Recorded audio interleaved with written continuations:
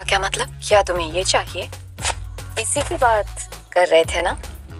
मैं तुम्हें बताऊँगी किसिंग के बाद क्या होता है। तुम गलत सोच रही हो। मेरा वो मतलब नहीं था। मैं तो बेकार में वक्त बर्बाद कर रहे हो।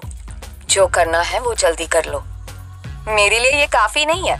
करना ही है तो ज़्यादा से ज़्यादा मॉन्स्टर्स को खत्म करो और मुझे इंसान बनाओ। मेरे लिए तुम चार से ज़्यादा कुछ नहीं हो समझे? जाना।